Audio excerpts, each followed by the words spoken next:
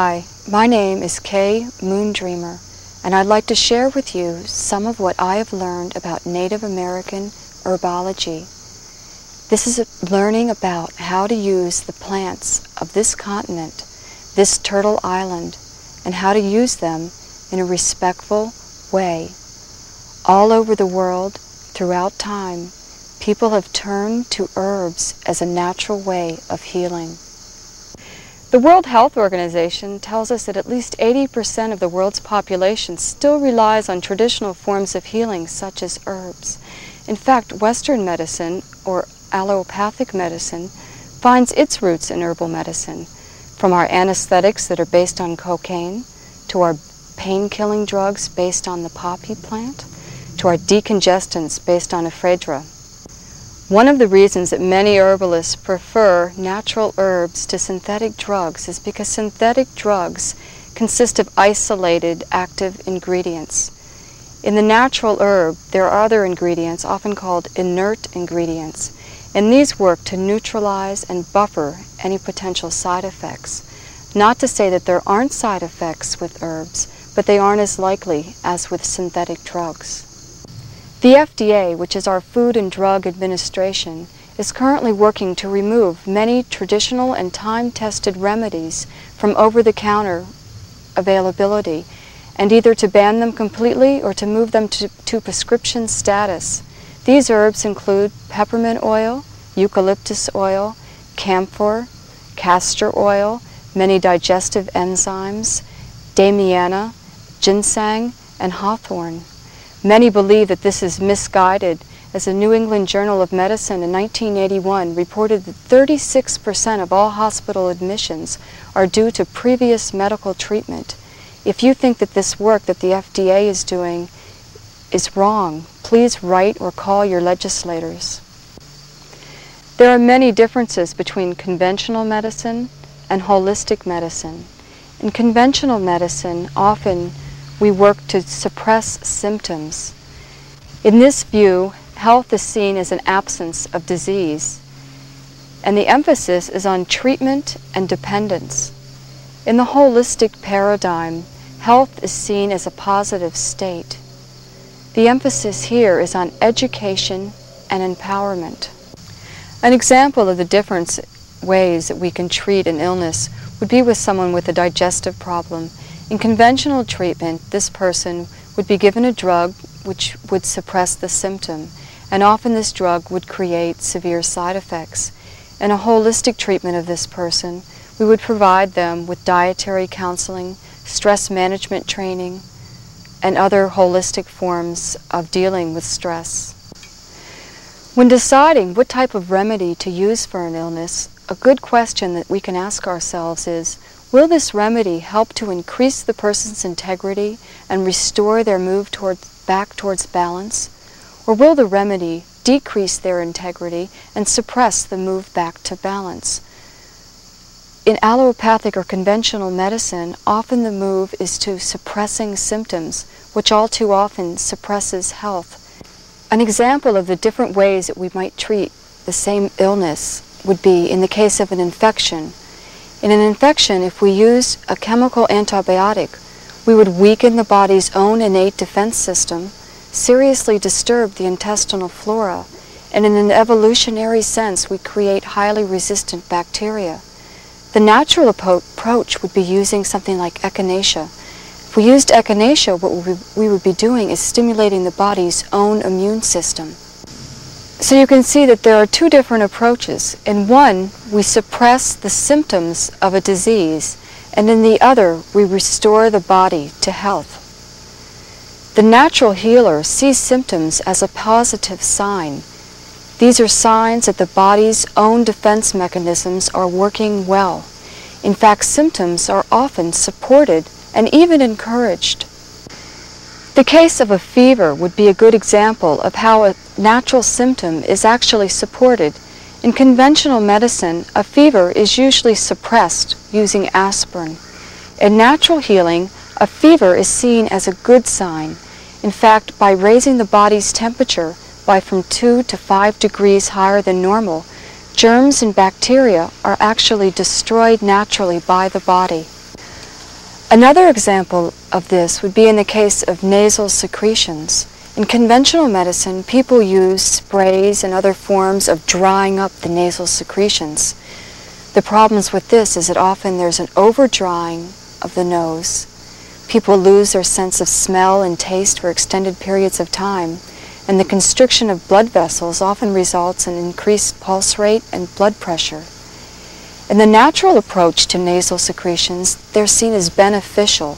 In fact, they're removing unwanted viruses and bacteria from the body. So we would actually encourage these by using an expectorant herb, which means an herb which increases the flow of mucus from the body. An example of this would be using thyme. Gathering herbs yourself is a very rewarding experience. But you're going to want to make sure that you gather from places where there's no chance of pesticide or other chemical contamination. You won't want to gather near roadsides, power lines that might have been sprayed, farm fields that might have been sprayed. Forests now are being sprayed often for gypsy moth. You're also going to want to avoid places where dogs might have gone as they can pass parasites to people. If you buy your herbs, you're going to want to know your source. At least 80% of all the herbs in the U.S. have been imported, and you might have already heard about the circle of poison, which affects our food.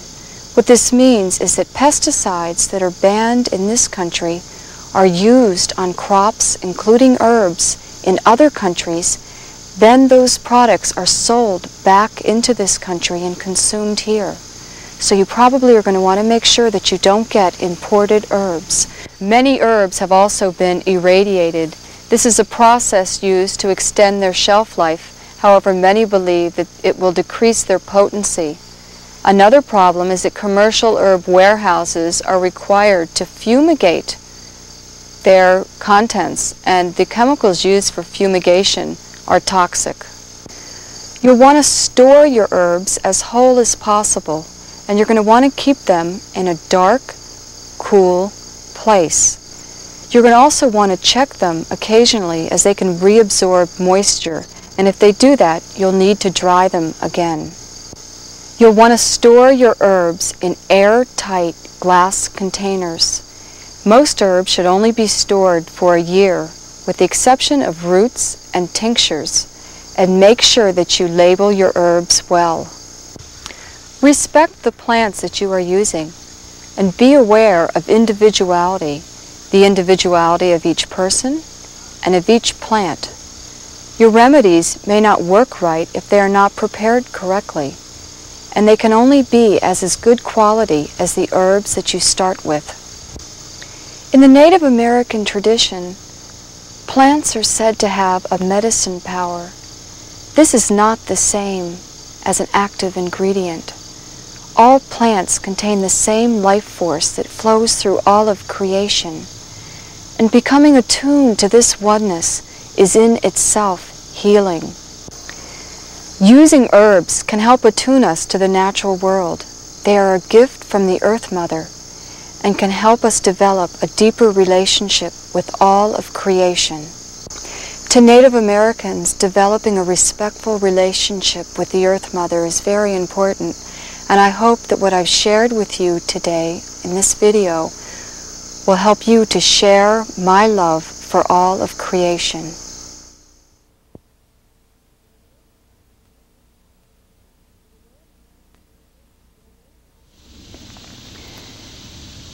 In the Native American tradition, herbs are gathered in an attitude of respect and gratitude.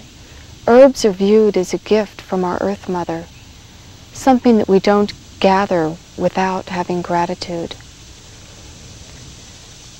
When we want to gather an herb, first we make sure that we have positively identified the herb. Then a good thing to do is to find the grandmother plant and ask her permission.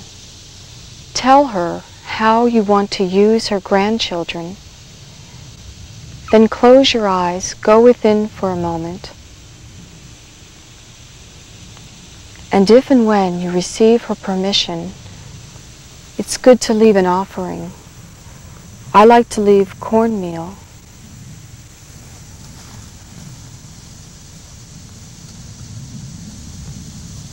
Other people might like to leave a prayer or an offering of tobacco.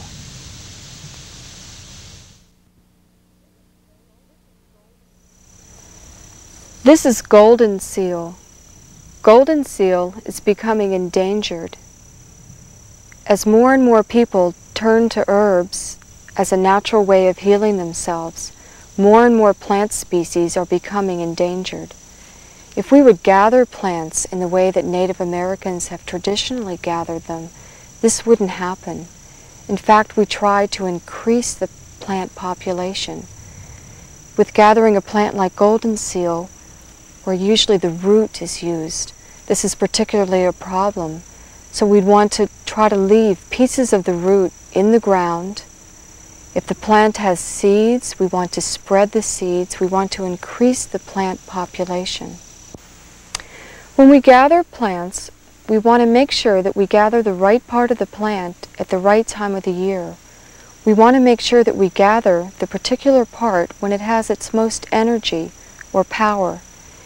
In gathering a plant like the golden seal, which we usually use the root, this would mean that we either gather it in the spring or the fall. If we gather it in the fall, we gather after several hard frosts when the top part of the plant has died back.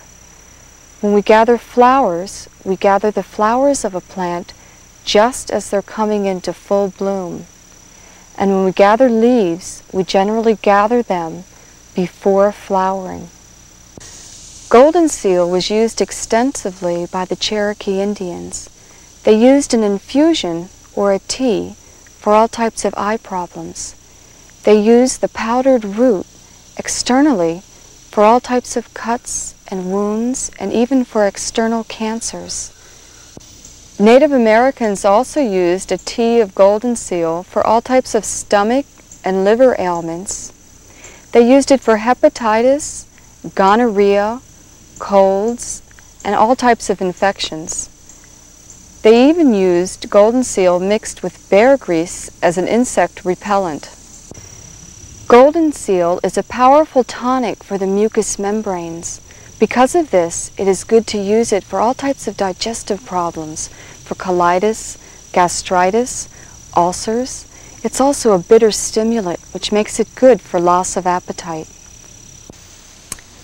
Golden seal is a perennial herb, meaning that it comes back year after year. It has a single leaf attached to the stem with five to nine lobes. It flowers in the spring with a small whitish flower, and one of the ways that you can identify it is by the spike that's left after the flower.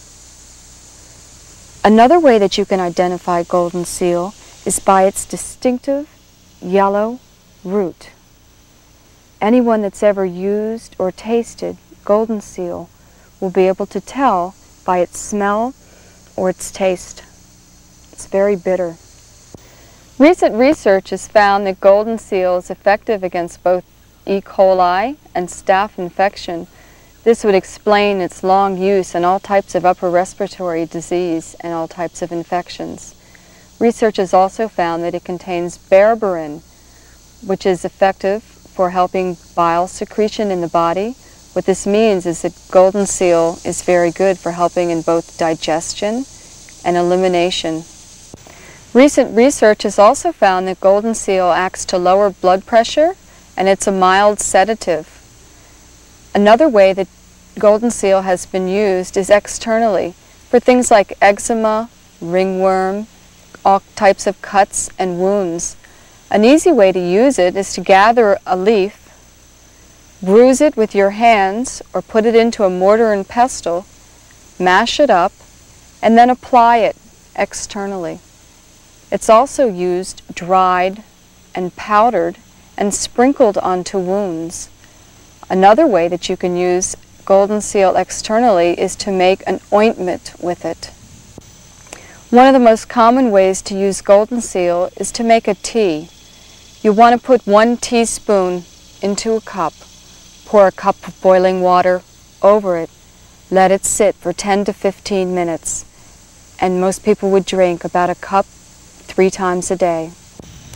There are some cautions concerning golden seal that I'd like to share with you. Although golden seal is occasionally used during childbirth, it should be avoided during pregnancy. It's a very strong herb and it can stimulate contractions of the uterus. Golden seal can also be toxic in large doses, and it seems to store in the fatty tissue of the body and can cause irritation of the mucous membranes in the body. If you use golden seal, don't use it for more than a week, and it seems to irritate intestinal flora, so you'll want to use something like acidophilus or a good quality yogurt while and after you're using golden seal.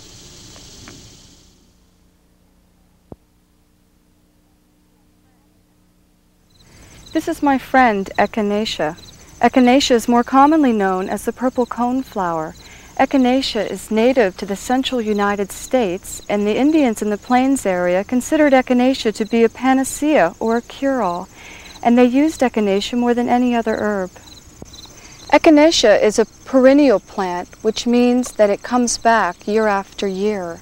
It's a stout plant with rough, jagged leaves that attach to the stem and it's most distinctive for its cone with the dull purple flower petals that fall down from the cone as the flower matures. The Kiowa chewed the fresh root of the echinacea plant and swallowed the juice for sore throat and coughs. Echinacea is probably most effective when used the way that the Native Americans used it, either chewing the fresh root or using the fresh root as a poultice applied externally or in general just using the root fresh. Research has found that extracts of the fresh root is more effective than the dried root. Echinacea was used extensively by Native Americans. It was used for colds, flus, infections, snake bites, insect bites, spider bites. It's considered a folk remedy for the brown recluse spider bite. Our body has two different types of immune system. One of these is the specific immune system. This system works by a type of a memory that remembers which type of invaders have been in the body before. The other system is the non-specific immune system. This immune system works through what's called macrophages, which are white blood cells which attack, attack invaders in the body. Echinacea works by stimulating the non-specific immune system. This is particularly relevant because many of our modern illnesses, viral infections, specifically AIDS, are continually changing their surface structure. Thus, they need to be attacked by the non-specific immune system. So echinacea is good for all kinds of infections. It's good for viral infections, bacterial infections. It's good for all problems of the upper respiratory tract like laryngitis and tonsillitis. It's also good for external infections, things like boils, carbuncles, all kinds of wounds, cuts. When we want to use echinacea to treat an external infection, the best way to do it would be to get the fresh root, and then we could either chew it or grind it up in a mortar and pestle. Then we take the ground plant material and apply it right to the infection. The root of the echinacea plant is the part that is most commonly used. Ideally, we gather the root in the plant's third to the fourth year, and we gather it in the fall after the plant has died back. This is the root. Remember, the fresh root or the fresh root extract or freeze-dried would be the preferable way to use echinacea. One of the ways that we can tell that echinacea is still potent is that it should leave a tingling sensation in the mouth. If it doesn't, then you'll know that what you have bought is not effective any longer. Even though the root of the echinacea plant is the part that has been used traditionally, many people now are also using the leaves and flowers it seems that they contain the same kinds of ingredients as the root. It's just that the root is much stronger. This is burdock. Cherokee women used burdock before and after labor to strengthen the womb. The Cherokee also used burdock for gravel, rheumatism, scurvy, and venereal diseases. The Chippewa used burdock as a blood purifying medicine, and the Ojibwe used burdock for pain, for stomach ailments, and as a general tonic. Burdock is a very hardy plant, growing from six to eight feet tall. It's also biennial, which means that it grows for two years. In its second year of growth, it forms purplish pink clusters of flowers that bloom in the summer, and then in the fall they become the notorious burr. Burdock has a long history as a blood purifier. It is often one of the main ingredients in blood purifying remedies. It is renowned for its use in psoriasis and eczema if used over a long period of time. It is also good for all types of rheumatic complaints. One of the easiest and most effective ways to use burdock is to eat it. You can gather the first year root, peel it, steam it, and eat it. You can also gather the new stalks as they come up in the spring and use those in salad or steam them. One can also use the young, young leaves in salad. Another way that we can use the burdock plant is to make a tea or an infusion with the root. To do this, we would take one teaspoon of the root and boil it in one cup of water for 10 to 15 minutes. You would want to drink a cup of this three times a day. Burdock also has a long history of use in healing external problems. The fresh bruised leaf can be used for things like burns, ulcers, wounds, poisoning, rashes, any kind of skin ailment.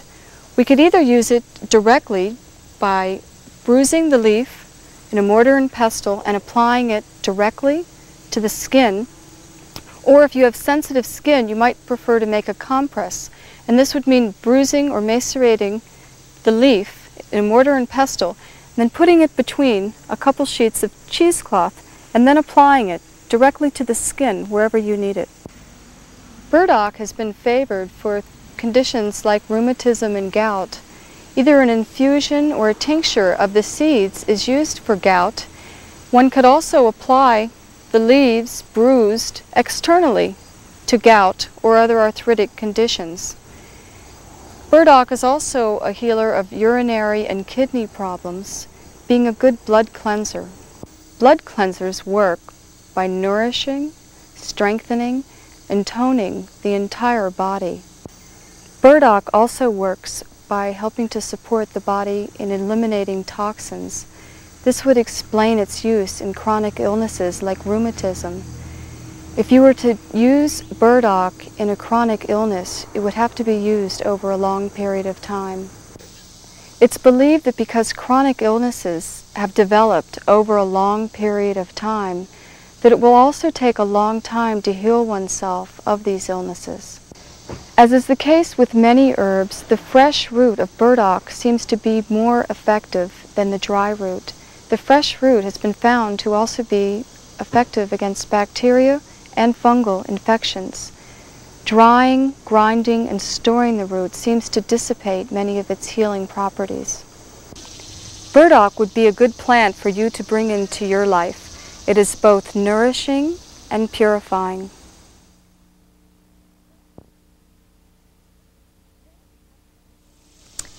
This is peppermint. The Cherokee used peppermint for fever and headaches, colds, cramps, colic, and cholera. The Menominee tribe used peppermint and other mints for pneumonia, and the Cree used mints for sore throat. The peppermint is a perennial plant, meaning it comes back every year. Peppermint likes to grow in cool, moist places, and peppermint is one of the most widely used herbs in the world. Peppermint has hairless, dark green leaves which are lance-shaped, and it flowers from July through September. To harvest pep peppermint, you want to gather it before it flowers and cut it back to about three inches above the ground. Some of the most popular uses for the mints for things like indigestion, gas, the urge to vomit. Peppermint works in a couple ways. One of these is as an antispasmodic and it relaxes the stomach and other internal muscles. It also works by supporting bile secretion and helps the digestive system to work better. Peppermint also has a long and traditional use for colds, flus, and fevers. One of the ways that it helps is by supporting perspiration. Peppermint is a strong stimulant, and what it does is it brings blood to the surface of the skin, and then sweating and evaporation helps take the heat away from the body. The Chinese even like to drink a hot peppermint tea in the summertime to help them stay cool. Recent studies have found that peppermint is effective against the herpes virus and other viruses. Other studies have also found peppermint to work as a strong anti-inflammatory and to have anti-ulcer activity. Peppermint has been used by many as a remedy for gas. In Europe now, it's also being used in a special capsule form for irritated bowel syndrome. Recent studies have found that menthol, which is one of the active ingredients in the mints, has slight antiseptic properties. The mints are also supposed to be antimicrobial, which means they are effective against bacterial infections. Peppermint, being a stimulant, makes an excellent coffee substitute, and it also doesn't have the side effect of coffee of being overstimulating. One word of warning about peppermint. You can buy something called the essential oil of peppermint in the store. This is extracted through a highly complicated process, so it's not something that you could create yourself.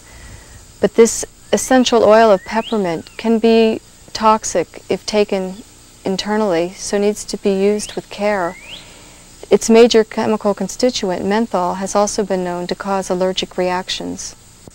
Peppermint would be an excellent tea for all those people in our society who have digestive problems, which are so often related to our stress-filled way of living.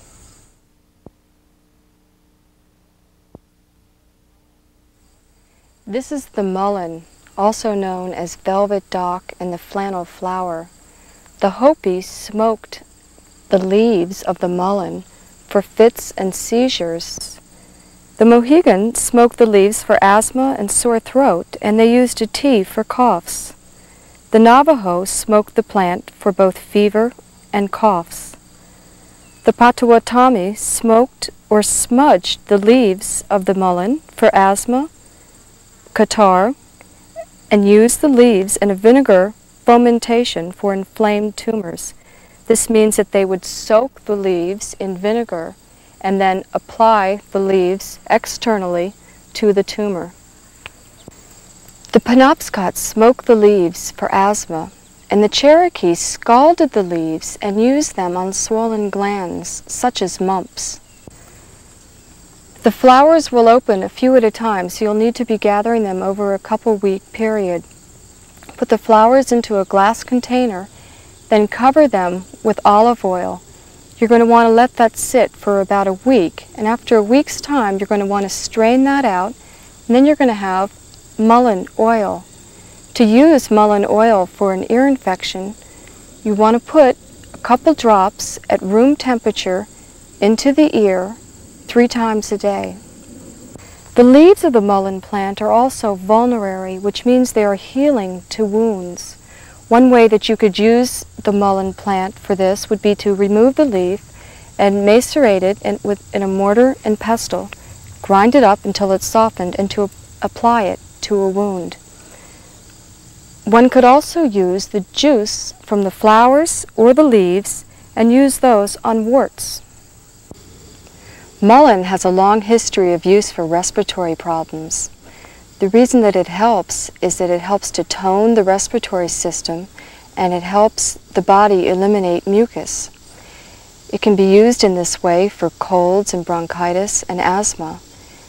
You can make yourself a tea by putting a quarter cup of dried flowers into an airtight container, like a canning jar, cover it with a pint of boiling water, Screw the top on tightly, let it sit for 10 to 15 minutes, strain it, and drink one cup three times a day. Research has found that the mullein flowers have antibacterial properties. Another thing that you might also want to know about mullein is that the flowers are stronger than the leaves. Mullein can be found all over and it seems to prefer waste places.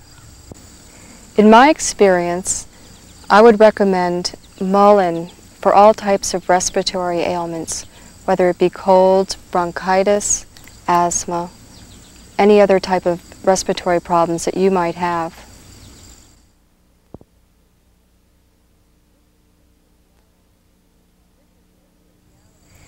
This is Sister Yarrow. She's a perennial herb, meaning she comes back year after year, and she's found throughout most of North America. She has feathery leaves, and the flowers of yarrow can be either white, pale lilac, or yellow. But the white wild variety is the type that is most often used for healing. The flower, the leaves, and the stem all can be used for healing. Yarrow has a long tradition of use within the Native American healing tradition. It can be used for colds, fevers, kidney problems. Being a diuretic, it works well for urinary tract problems. Yarrow is a diuretic, which means it helps to stimulate the elimination of urine from the body. Because of this, it has a long history of use for urinary tract infections such as cystitis. Yarrow also has a long history of use for external problems. In fact, one of its folk names is wound wort. Yarrow is astringent, which means it tightens tissue. So it's been used for wounds, it's used for burns, rashes, stings, and all other kinds of skin problems. Yarrow has a long history of use for colds and flus. It is expectorant, which means that it helps the body to expel mucus. It is analgesic, which means it is pain reducing. And it is diaphoretic, which means that it is sweat promoting. All of these will help with cold and flu symptoms. To make a yarrow tea, you'll want to take two teaspoons of the dried herb, put them into an airtight container, pour a cup of boiling water over it, seal the jar, let it sit for 10 to 15 minutes, and you want to drink one cup three times a day. You can also use yarrow externally by applying the powdered herb directly to a wound, and in this way it will help stop the bleeding. There are a couple warnings that I'd like to give you about yarrow.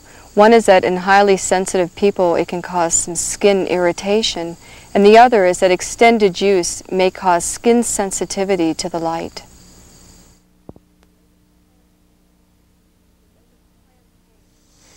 This is plantain, which the Native Americans nicknamed white man's foot because it seemed to follow them wherever they went. Plantain grows wild all over the United States and is a very common herb. It is a perennial herb, meaning it comes back year after year. If you want to use the leaves, you'd want to gather them before the seed stalks form. If you want to use the seeds of the plant, you gather them in the fall, and the seeds are used as a bulk laxative in Appalachia. Plantain has many uses. One of its common uses is for wounds and all types of external problems. I was taught that it is called Band-Aid plant. And what we do to use it is we take a leaf, chew it,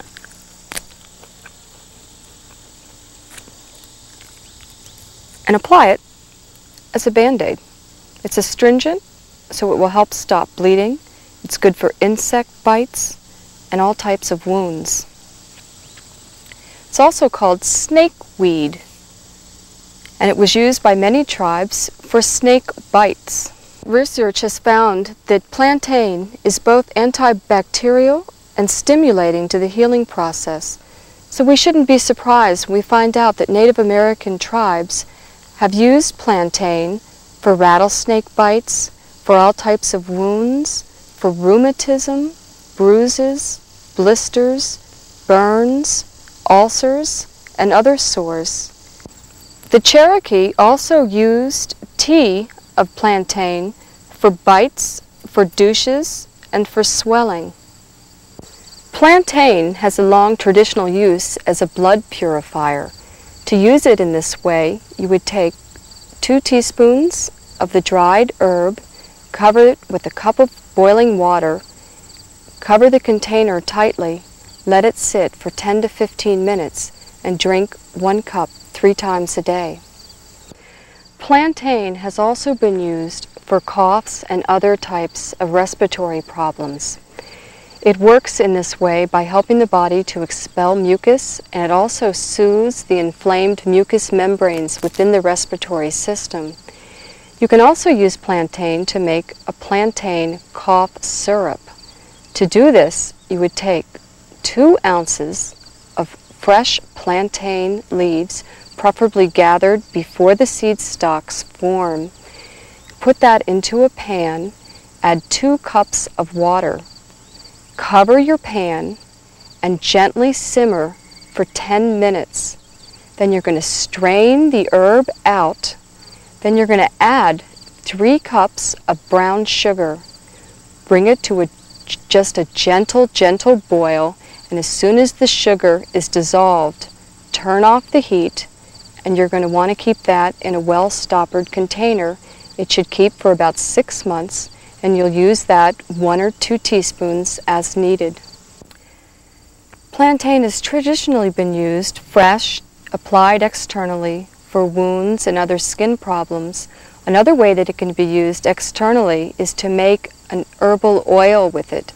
To do this, you'd want to gather the fresh plantain leaves, fill a clean jar to the top as full as you can with the leaves, then pour a good quality herbal oil into the jar. You actually will be filling it a second time with the oil. Then you're going to want to seal it and let it sit for a few weeks until it turns a nice green color. Then you're going to want to strain out all of the herbal material and you'll have a plantain herbal oil which will be very good for skin healing.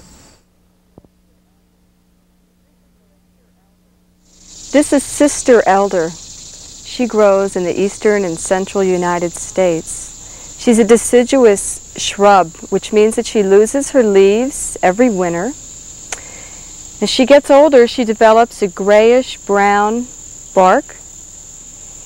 In the spring to early summer, she develops large clusters of yellowish golden flowers, which are followed by the elderberries, which are purplish blue clusters of berries. The flowers of the elder bush have been used by Native Americans for colds, flu, and fever. The berries have been made into juice or wine for rheumatism, and the bark and the leaves are used as an emetic, which means they help vomiting, and a purgative, which helps in the cleansing of the intestinal system. The leaves of Sister Elder have traditionally been used by Native Americans for all types of ailments of the skin. They've been used for boils, burns, and wounds. Basically, the different parts of the elder are used for different healing purposes. The leaves are usually used externally for all types of burns, sprains, strains, even for external uh, tumors or cancers. The flowers of elder are diaphoretic, which means that they encourage sweating, and they've traditionally been used for all kinds of colds and flus. A traditional remedy for colds or flu is mixing the elder flower with peppermint leaves and making a strong tea with this. The flowers of the elder are also expectorant, which means they encourage the expectoration of mucus from the body. Because of this, they're used for any type of excess mucus in the upper respiratory system, such as hay fever and all types of allergies. The berries of the elder have similar properties to the flowers. They're also rich in vitamin C. They encourage perspiration, and this would probably explain their long use for both colds and rheumatism. The root, bark, leaves, and unripe berries of the elder are said to cause cyanide poisoning and severe diarrhea, so they should not be used internally. Many herbalists also believe that the berries should only be used when they are fully ripe. My favorite way to use the elder is to make a strong tea or infusion with the flowers for all of the uncomfortable symptoms of both colds and flu.